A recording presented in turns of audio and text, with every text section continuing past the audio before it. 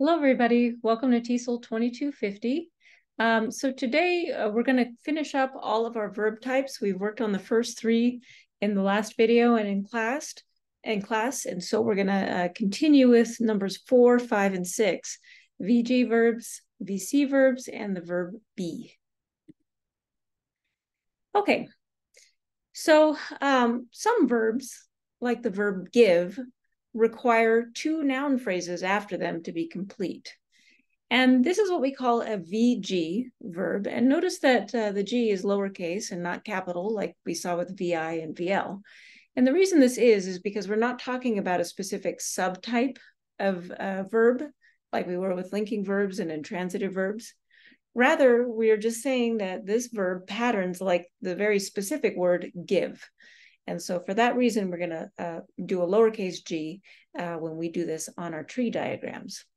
So this, for example, uh, has the formula X gave someone something. For example, the school board gave the teachers a raise. Now we notice here that we've got two noun phrases. The first one in this phrase, uh, the first one in this sentence is the teachers, and the second noun phrase is a raise. So the verb give and other verbs that are like give um, require these two noun phrases. We can't just say the school board gave the teachers or the school board gave a raise. We always need that second noun phrase for this to be complete. And so uh, with this verb, we introduce a new type of noun phrase object, specifically an indirect object. So we've seen direct objects before with VT verbs. These are noun phrases that receive the action of the verb, um, but now we have an indirect object as well. And this is the noun phrase that receives the direct object noun or noun phrase. So you can imagine the action of the verb is transferred twice, first to the direct object, and then indirectly to the next noun phrase or the indirect object. So when we think of this sentence, the school board gave the teachers a raise. First, the action of giving transfers to a raise, and then that raise transfers to the teachers. So that is called an indirect object. And the teachers in this case is the indirect object, and that's the first thing we see. And then we also get the direct object, a raise, after that.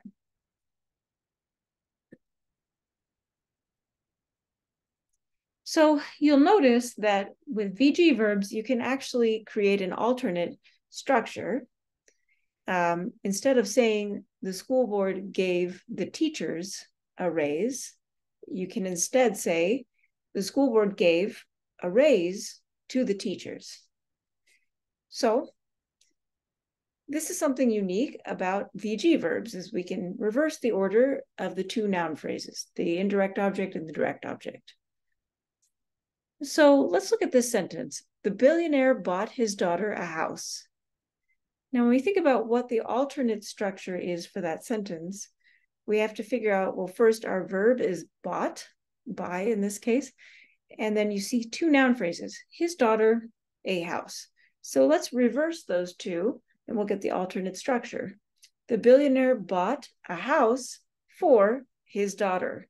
Ah, now notice we have to add for or to uh, whenever we reverse the indirect object with the direct object. Specifically, when you put um, the indirect object last, you have to have a to or a for before it. If the indirect object is first, then you don't need that.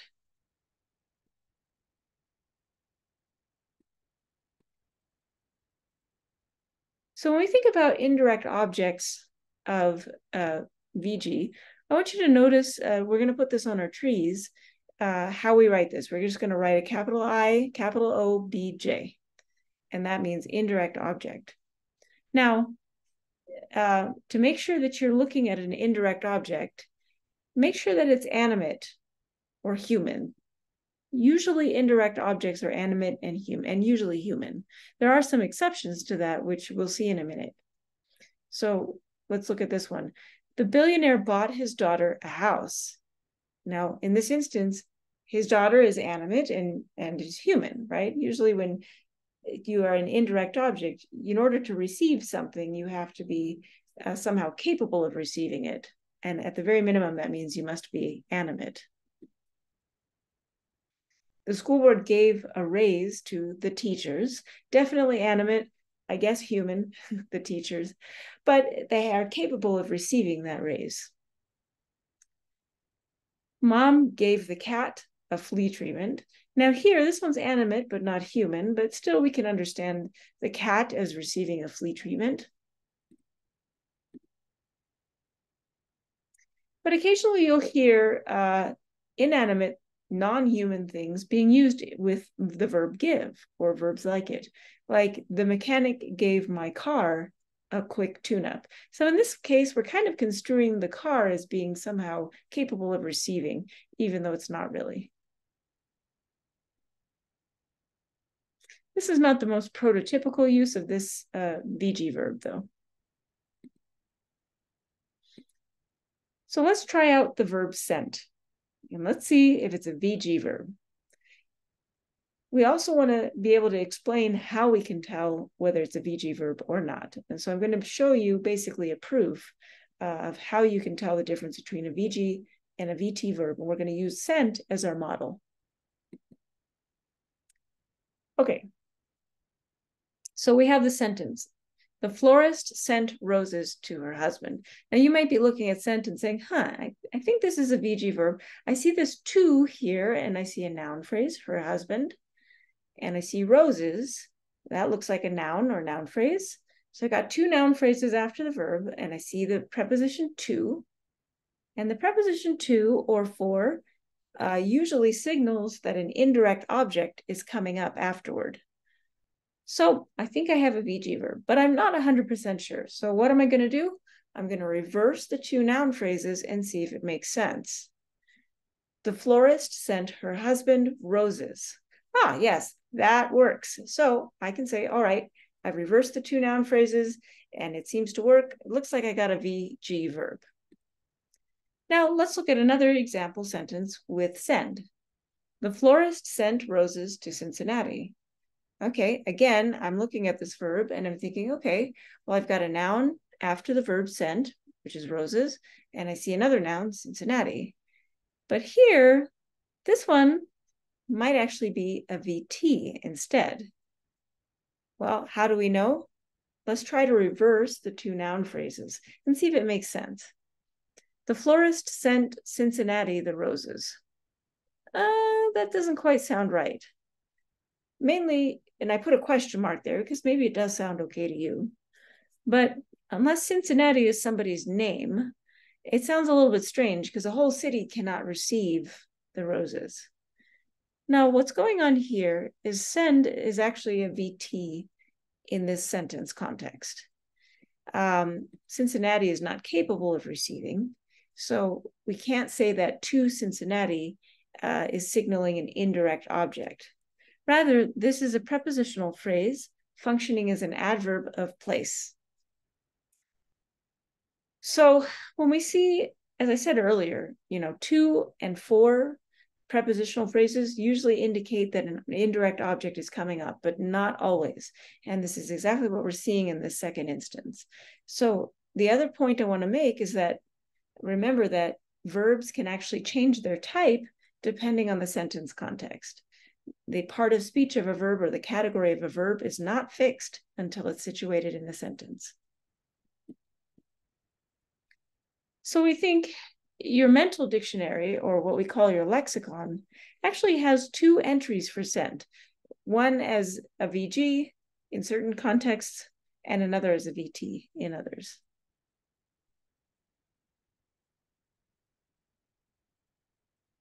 So just like any other transitive verb, a VG verb can be made passive. The difference is that VG verbs are going to actually make two distinct passive sentences, depending on whether you want to focus on the direct object or the indirect object. So VT, as you recall, can make a passive sentence, but only one passive sentence. Here we're going to see two with a VG. So let's take the example sentence. My kids fed tuna to the cat. Well, feed in this instance it looks like a VG. And we can actually take the cat at the end of the sentence, we move it to the beginning to make a passive if we want to focus on the cat. So the cat here is the indirect object. The cat was fed tuna by my kids. Okay, now that's a possible sentence, but let's say we want to instead focus on the direct object, tuna. In other words, what was fed to the cat? Oh, tuna was fed to the cat by my kids. So we can instead do a direct object focus and put tuna in the beginning of the sentence.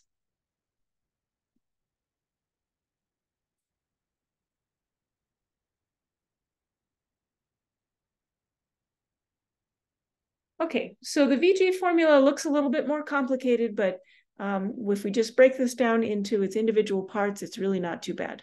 Okay, so this reads a complete sentence containing a VG verb, two place transitive verb, must have a noun phrase acting as a subject, followed by the VG verb.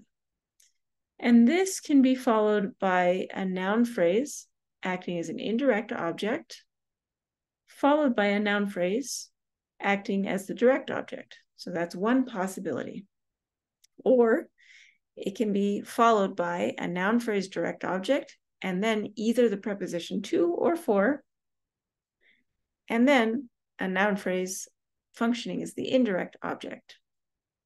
So you see two sets of curly braces here. Uh, one is contained within the other, depending on which path we take for the VG verb.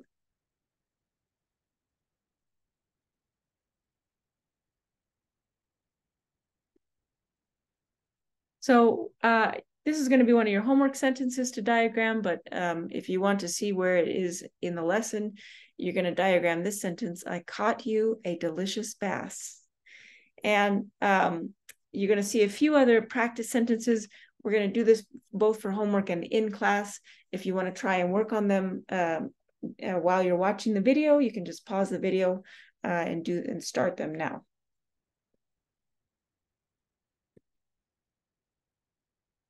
Okay, so let's look at a couple more uh, verbs, uh, particularly the verb leave and deliver, both in past tense. The tense doesn't matter. So we have the sentence Thomas Jefferson left a marvelous legacy for America. Now you might look at that and you say, oh, I see a preposition for. And I remember that if I see to or for, that often indicates that an indirect object is coming up. So let's again reverse, rearrange the indirect object with the direct object. Thomas Jefferson left America a marvelous legacy. Now, can we say that? Yeah, I think you could say that. Although some might argue, well, maybe that sounds a little bit like the Cincinnati thing that we were talking about earlier. Uh, that's up to your own interpretation but I could I could definitely say that Thomas Jefferson left America a marvelous legacy. So we're almost kind of treating America as if it's animate and can in fact receive a marvelous legacy. So and that's a, a kind of a point I want to make is that a lot of these verbs are not exactly um, there aren't hard and fast rules as to which category they fit into. Much can be argued based on your own interpretation. So another sentence that we see here is the trucks delivered the bricks to the building site. Now we want to see if deliver is a VG or a VT. Now, again, I'm seeing a to and I see a noun phrase after it. Often tells me that's a VG, but it may not be. Let's reverse the two noun phrases. The trucks delivered the building site the bricks. Now that one definitely doesn't sound right to me, and probably not to you either. So we can safely conclude that deliver is not a VG, rather it's a VT verb, and this to the building site is just a prepositional phrase functioning as an adverb of place. It just simply answers the question where.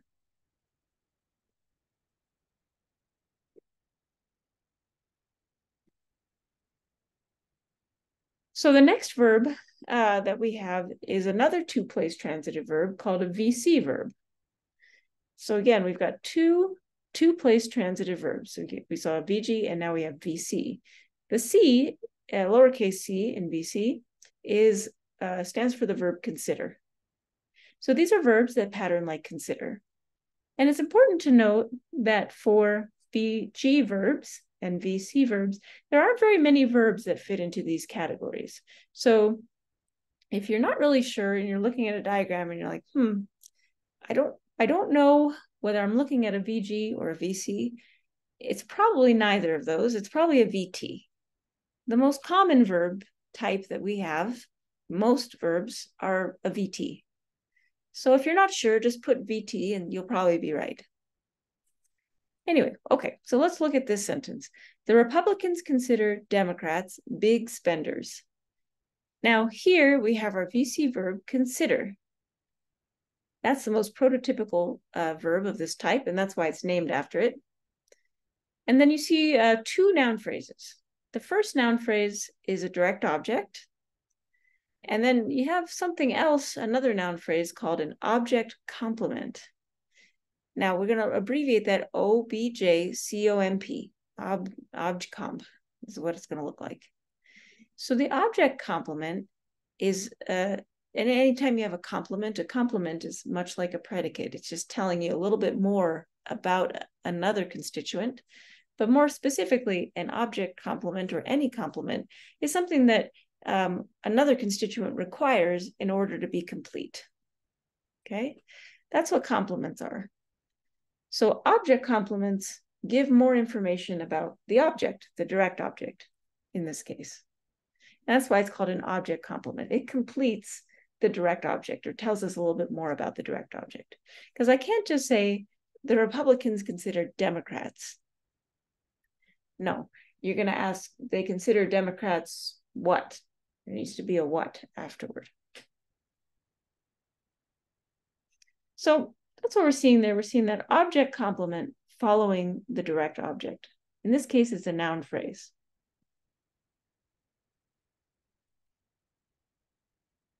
Here again is another example sentence. Some rock fans consider Bob Dylan old fashioned. Now, we'll note that old fashioned is talking about Bob Dylan, the direct object. So this is not a noun phrase, though. Rather, it's an adjective phrase. So an adjective phrase is another type of object complement that we can have. Once again, object complements complete the idea of the verb. They come after a direct object and they say something more about the direct object. We can't just say, some rock fans consider Bob Dylan and just leave it at that. We need to have something after. So, so far we've seen a noun phrase as an object complement, and we've seen an adjective phrase as an object complement. Now I want you to note how I write the abbreviations for all of these constituents with adjective phrases. This is what we're going to do on our trees.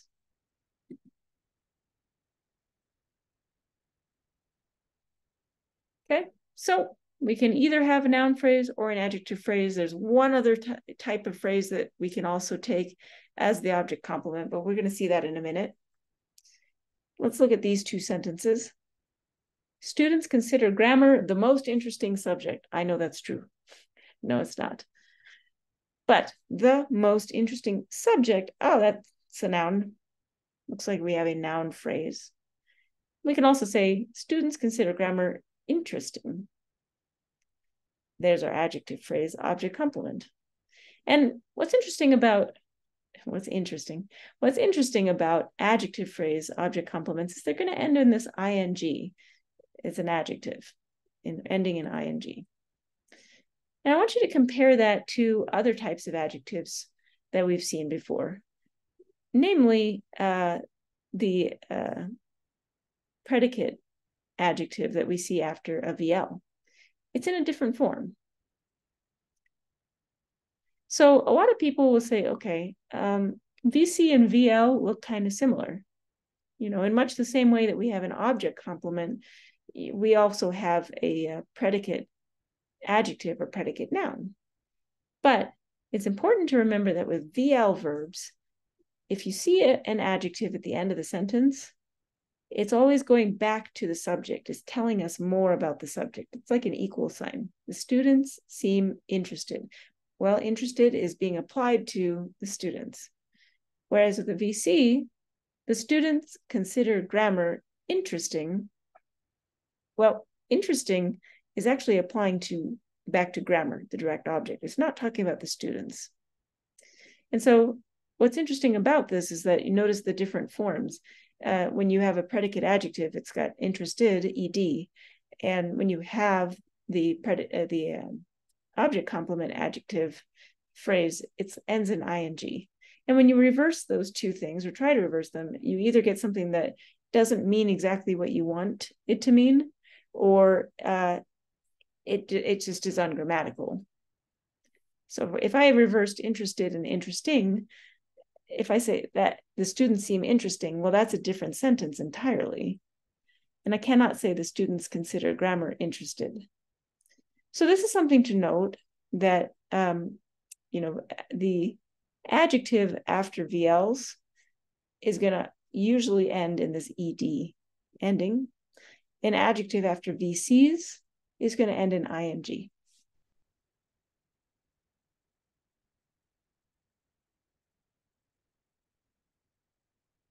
So here are a few more words that fit the VC paradigm. And again, VC is a pretty small class of verbs. We don't have very many of those. Think, found, deem, make, get. Again, we have a few examples here. Think, my mother thinks my husband a liar. Now, I don't know about you, but for me, that seems almost archaic and like it should be pronounced with a British accent for some reason. You almost never really hear people using think in this particular type of construction. But nevertheless, it does still exist, and so that's why it's there. Found. My brother found the hotel bed to be uncomfortable. That sounds a little bit better. I want you to notice, though, we have this to be here oh, this is a new uh, thing. It's it's not immediately followed by uh, an adjective or a noun phrase. We're going to talk about that in a minute. Deem. The court deemed her an unfit parent. So notice we have her as our noun, it's a pronoun, and an unfit parent is going to be the object complement, a noun phrase. Make, that sweater makes me itchy. Sometimes get can even be a VC verb. Speed display signs get drivers to slow down. Ah, and once again, we have this to slow down, which we haven't seen yet. But I do want to caution you that most of these verbs um, frequently function as other verb types, depending on the sentence context. So if I say, you think too much, now I'm using think as a VI. You think. How much? Too much. I found my watch. Here's a VT. I'm going to make an origami statue, also VT. I have to get some ice cream. I'll consider your offer later. All of these are VTs. So once again, this points to the idea that VT is going to be the most common verb that you're going to see. If you're not sure if what type of verb it is, it's probably a VT. So the sentence construction makes the verb what it is. The slot makes the verb what it is. So here is our VC verb formula, and we're going to add one more little thing uh, that we saw in a couple of the example sentences on the previous slide. So my formula reads, a complete sentence containing a VC verb must have a noun phrase acting as a subject, followed by the VC verb. This must be followed by a noun phrase functioning as direct object. This must be followed by one of three things, either a noun phrase, adjective phrase, or infinitival phrase functioning as the object complement. So let's look at this infinitival phrase. This is a new one we added. And we saw it in uh, one of the previous sentences, two of them actually. But here's the example again my brother found the hotel bed to be uncomfortable. Now, another way you could just say that is, my brother found the hotel bed uncomfortable. That's okay. But we can also add that to be. And to be is uh, an infinitival phrase. So uh, this is to plus a verb. We call it infinitival because whenever you have a verb with to in front of it, it has no tense. In other words, no time. In other words, it's infinite. That's where infinitival phrase comes from. So we're going to label that as INFPH. So infinitival phrases, you see here, to be is the most common one that we're going to see with VCs. be does not have any tense because it's got this to in front of it. We can also modify a sentence we saw earlier to have an infinitival phrase object complement. Some rock fans consider Bob Dylan to be old fashioned.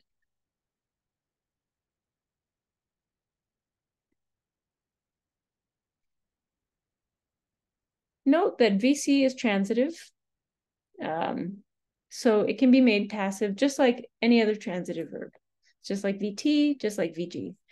Um, the only difference is that with VCs, you're going to get just one passive construction, unlike VG, which can have two distinct passive constructions. So let's take a look at some active versus passive sentences. My mother thinks my husband a liar. To make that passive, my husband is thought to be a liar by my mother. Okay. My brother found the hotel bed to be uncomfortable. The hotel bed was found to be uncomfortable by my brother. Some rock fans consider Bob Dylan old fashioned, passive voice. Bob Dylan is considered old fashioned by some rock fans. Now, that one sounds a little bit more natural.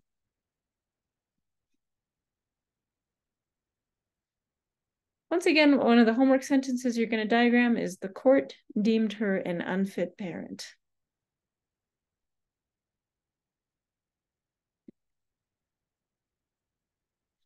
Okay, so I know what you're thinking.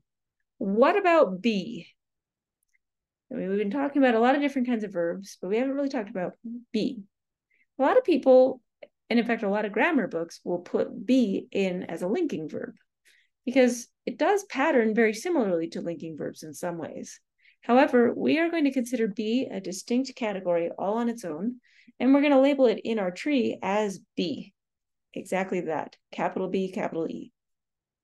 Because as we're going to see, while be may be similar to VLs in a lot of ways, it also behaves very differently than VLs in others. So it kind of has to be its own category.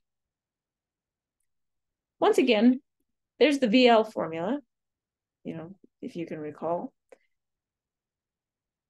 You have a noun phrase subject, the VL, and then either a noun phrase predicate noun or an adjective phrase predicate adjective following it, okay? So let's see if this is kind of similar to be. All right. She is smart. Well, here we have the verb be in its various irregular forms that we're going to see. And it kind of looks like we're saying she equals smart. Smart is an adjective, predicate adjective. So, you know, kind of looks like a VL so far. She is my sister. Okay, it kind of looks like she equals my sister, and my sister is a noun phrase, predicate noun. All right, so that one checks out. It looks like a VL still. But then when we get to locations, then it doesn't behave like a VL. She is at home. Well, we're not saying she equals at home. So at home is not a predicate anything on she. So that one doesn't work. So for this reason, again, be patterns with linking verbs for predicate adjectives and nouns, but can also be used to indicate location, and linking verbs don't do that. So it's got to be its own category. Here's another issue with grouping be in with the VL category. It can be moved to form a question, but VL verbs can't do this. So let's take the sentence, the children are happy. Now, if I have this sentence and I want to make it a question, I have to take uh, the version of be that we see here as are, got to take that version of be and I'm going to move it to the front of the sentence around the subject. Are the children happy? But if I try to do the same thing with a VL, then I get Yoda speech. The children seem happy. Seem the children happy? That's ungrammatical. So be has to be its own category. So here is uh, the formula for be. looks almost the same as linking verbs. The only difference is we're going to add something on the bottom here. A complete sentence containing a be verb must have a noun phrase acting as a subject, followed by the be verb. This must be followed by either noun phrase predicate noun, adjective phrase predicate adjective, or some sort of adverb of place, which is functioning as a predicate adverb. Ah, interesting, a predicate adverb. So she is at home. At home is predicating on where she is, but it's not really saying anything about uh, her. It's not. It's not functioning as an equal sign. So these things, these predicate nouns and predicate adjectives and predicate adverbs, they say something more about the subject. And they're what we call subject complements. They complete the construction. So we already saw object complements earlier with VC, or excuse me, yes, VC. But now we're seeing some subject complements, okay? But we don't need to write subject complement. It's just there for your, uh, for your understanding. We're going to write it just as we see it here in the formula. So I can say, my mom was a doctor. That's all right. My mom was grumpy. That's fine. So again, a predicate noun and predicate adjective, respectively. But I cannot just say my mom was. Now, other languages would have a similar uh, construction to this, and you could say something like this, but not English. Can't just say my mom was. What? My mom was where? That's where we need that adverb of place in the house, in the living room, in the car, etc.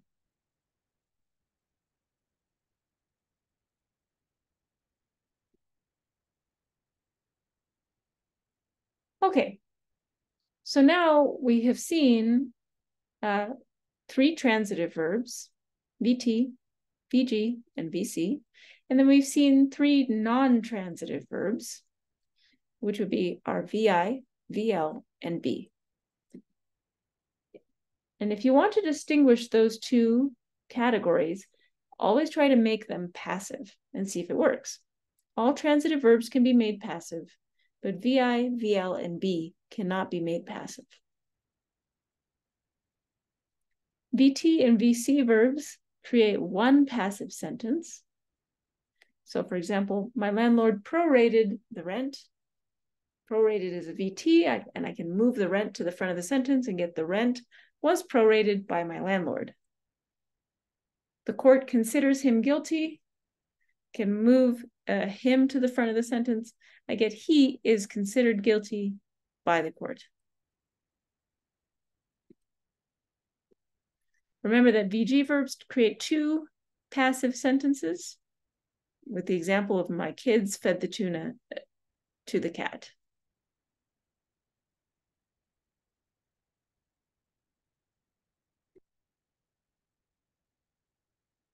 Okay, so we've looked at uh, verbs that are not transitive, VIs, VLs, and be, and also three verbs that are transitive, VT, VG, and VC. So these are the six verb types um, that account for the vast majority of verbs that you're going to read, speak, and write. Not all of them. Some grammar books have eight different categories of verbs, but the vast majority of verbs that you'll see in the sentence frames around these uh, are all hinged upon six verb types.